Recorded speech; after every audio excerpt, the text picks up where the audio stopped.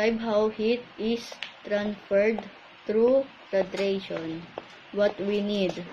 Shoe box, one roll aluminum foil, one piece of barbecue stick, hot dog. Next, place an aluminum foil inside the lining of the shoebox. Make sure that all sides are covered with aluminum foil.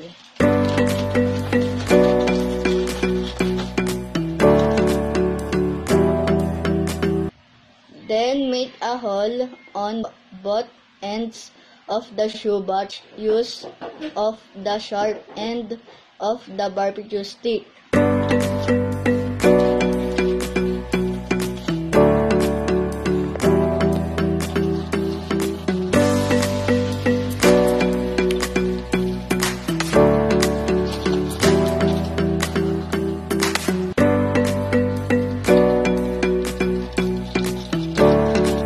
Insert the barbecue stick to the hot dog and careful place inside the shoebox.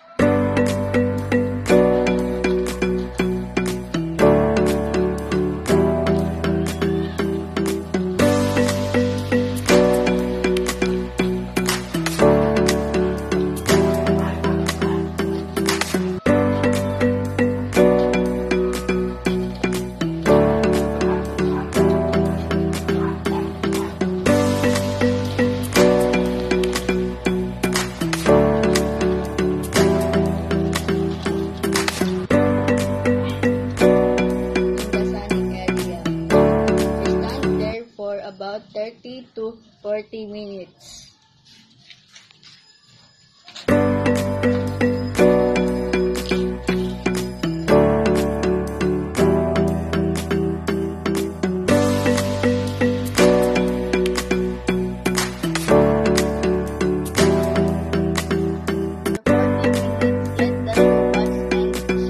Will happen to the hot dog inside the shoebox.